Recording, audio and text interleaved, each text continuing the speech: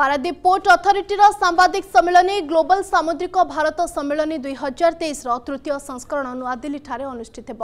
October ସତର ଉଣେଇଶ ଦିଲ୍ଲୀର ଭାରତ ମଣ୍ଡପମ୍ଠାରେ ଗ୍ଲୋବାଲ ସାମୁଦ୍ରିକ ଭାରତ ସମ୍ମିଳନୀ ଦୁଇ ହଜାର ତେଇଶ ଅନୁଷ୍ଠିତ ହେବ। ଏହାକୁ ପ୍ରଧାନମନ୍ତ୍ରୀ ନରେନ୍ଦ୍ର ମୋଦି ଉଦ୍ଘାଟନ କରିବେ। ଏଥିରେ ପାରାଦୀପ ପୋର୍ଟ ଭାଗ ନେବ। ପାରାଦୀପ ପୋର୍ଟରେ ପଚାଶ ହଜାର କୋଟିର ନିବେଶ ହେବାର ଆଶା ରଖିଛନ୍ତି ପୋର୍ଟ କର୍ତ୍ତୃପକ୍ଷ। ଏହି ସମ୍ମିଳନୀରେ ଷାଠିଏ ଦେଶ ଭାଗ ନେବେ।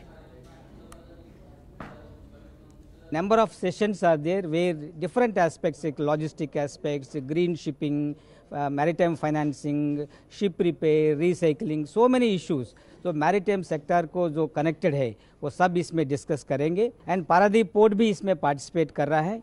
पारादीप पोर्ट इस पर्टिकुलर इवेंट में ऑलमोस्ट 25 टू 30 एम हम साइन करने वाला है डिफरेंट इंडस्ट्री से। इस worth of this particular investments will be रफली about 50,000 crores and Paradip port उसके साथ साथ अराउंड हंड्रेड मिलियन टन का कैपेसिटी ऐड करने के लिए प्लान कर रहे हैं। टोटल इन्वेस्टमेंट इसमें हम एक्सपेक्ट कर रहे हैं अराउंड 10 लाख करोड़ इस बार, और जिससे कि 15 लाख की एम्प्लॉयमेंट जनरेट होगी। इस इवेंट की ब्यूटी ये है कि इसमें इंडियन जो पोर्ट्स हैं शिपिंग है, या बाकी सेक्टर प्लेयर्स हैं, वो भी अपनी अपॉर्चुनिटीज़ इन्वेस्टमेंट्स डिस्कस करेंगे एज वेल एज जो हम 40 से ज़्यादा कंट्रीज़ इसमें एक्सपेक्ट कर रहे हैं, वो भी अपनी अपॉर्चुनिटीज़ यहाँ पे डिस्कस करेंगे so that Indian players can also invest abroad and foreign players can invest in India